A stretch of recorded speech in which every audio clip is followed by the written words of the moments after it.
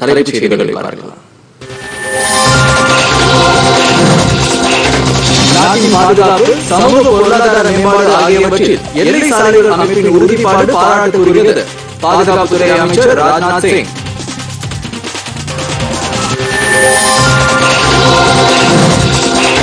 நவராத்திரியின் ஒன்பதாம் நாள் விழா மகா நவமி நாடெங்கும் உற்சாகத்துடன் கொண்டாடப்படுகிறது.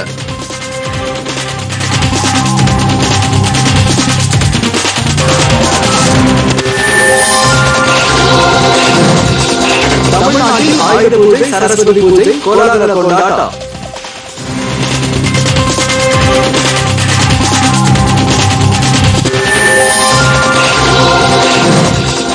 IPL cricket.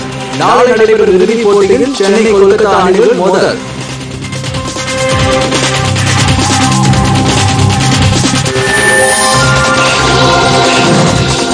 வங்கக்கடல் மற்றும் அரபிக்கடலில் காற்றழுத்த தாழ்வு பகுதிகள்.